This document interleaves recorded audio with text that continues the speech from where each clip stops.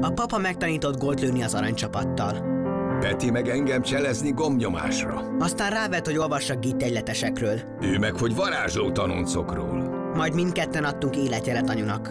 Aztán megtanultam, hogyan kell feladni egy csekket a postán. Én pedig, hogy kártyával is befizethetem, ráadásul ingyen. Fizesse be csekjeit a postán bankkártyával díjmentesen. Ha most Mastercard vagy Maestro kártyával fizet ügyintézőinknél akár 1 millió, én postám kártyával 2 millió forintot is nyerhet.